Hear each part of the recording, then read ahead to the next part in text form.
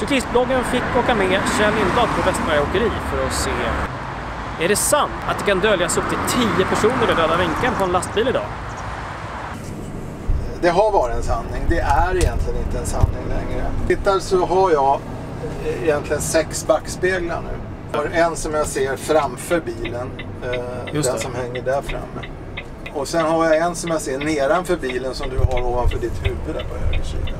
Och så har jag två huvudspeglar och sen har jag eh, vidvinkelspeglar i de mindre som sitter på, på spegelhållarna. De moderna bilarna är extremt bra utrustade men det, du ser alltså du kan inte riktigt se allt. Jag ska inte säga att du kan gömma 15 personer längre men, men om jag skulle sk- en, en x antal meter ut till höger så går det att gömma en människa. Men inte st- så nära bilen som man kunde göra förr. Hur gör man som cyklist då för att, att bete sig runt en, runt en sån här bil eller runt en liknande Alltså, bil? alltså, oavsett hur mycket spegel jag än har så är det ju den här delen när jag svänger som är farlig. När jag har lagt om lite för mycket Mm. då, då blir det ju en, en, en väldigt tvär vinkel. Som nu Mm. har jag väldigt svårt att se gångtrafikanter som kommer. Även om det är grönt, nu blev det rött.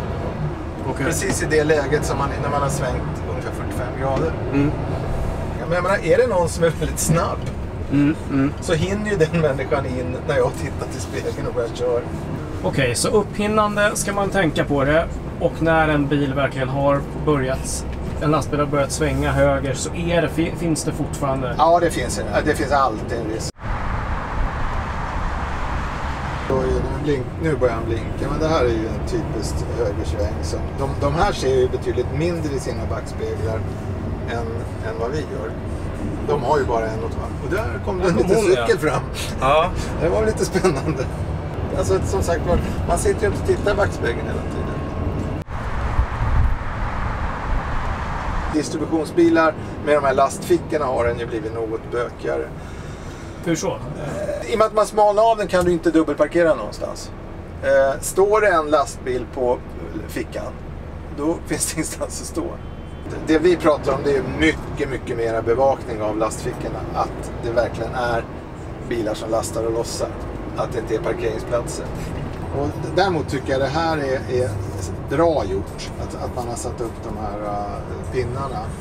Du kan fortfarande dra dina lastpallar och grejer. Alltså det ideala vore ju om man eh, kunde få nyckel och, och leverera, köra i stan och leverera på natten och slippa trafiken. Det, det skulle ju, alla skulle ju applådera om. Jag är ju personligen, och det, det är väldigt många med mig också, som är, är emot att, att ha så mycket trafik i stan. Mer, jag menar, det här är ju, det står spårvagnar bakom också. Det här är ju helt snurrigt att åka omkring i stan. Det, det är ju absolut galet att ha den här genomfarten. Jag tycker det är skitvettigt att, att få en, en något sån här balanserad bild av den här världen också.